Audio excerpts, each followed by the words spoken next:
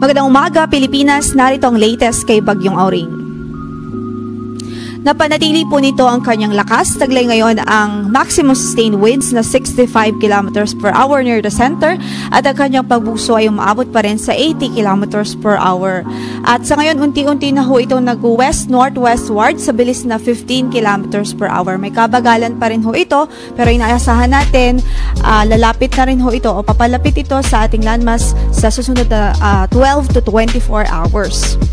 Samantala, ang kanyang estimated location as of our latest analysis sa layong 395 kilometers east-southeast ng Hinatuan, Surigao del Sur. So nasa dagat pa rin ho ang sentro nitong si Bagyong Auring. Dahil nga shared itong bagyo, makikita po natin na yung mga kapal na kaulabad, yung convective clouds kung saan ay inaasahan natin na roon ng malalakas na pagulan ay nasa northwest section ho or quadrant nitong bagyo so malayo sa sentro. So ang tendency po niyan dahil sa case na ito medyo nauuna ho yung mga pag-ulan dito sa Eastern Visayas, maging sa ilang bahagi ng Bicol region at asahan na rin mga pag-ulan maging sa Central Luzon. Silipin natin ang latest track na ipinalabas ng pag-asa. In the next 24 hours, estimate po natin nasa layo na ito ng 60 kilometers east-southeast ng Giwan, Eastern Samar. So in the next 24 hours, mas lalapit na ho ito sa ating kalupaan at uh, ating nga pong pagtaya na ang landfall scenario po nito ay nasa pagitan ng northeastern section ng Caraga region at ng uh, eastern Visayas area. Sa susunod na dalawang araw, so that's 48 hours from now, Inaasahan natin magtatraverse ho ito sa Visayas landmass at ilang bahagi ng Southern Luzon pero may chance naman ho na mag-weekend ito dahil nga sa interaction nito sa lupa.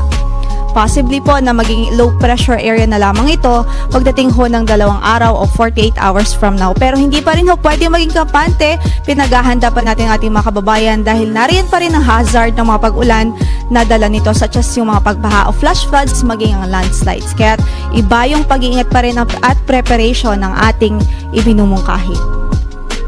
Kaugnay dito, ang signal number 2 ay nakataas na ngayon sa southern portion ng Eastern Samar, sa Dinagat Islands, northern portion ng Surigao del Norte, kasama na ang Siargao at Bu Bukas Grande Islands, habang signal number 1 naman sa natitirang bahagi ng Surigao del Norte, Surigao del Sur, Agusan del Norte, Agusan del Sur, Davao Oriental, Davao de Oro, Davao del Norte, Davao City, Camiguin, Misamis Oriental, Bukidnon, Sorsogon, Mainland Masbate, Ticao Island, Northern Samar, rest of Eastern Samar, Samar, Piliran, Leyte, Southern Leyte, Cebu, Bohol, Siquijor, Negros Oriental, northern, northern and central portions of Negros Occidental, eastern portion of Iloilo, at eastern portion of Capiz.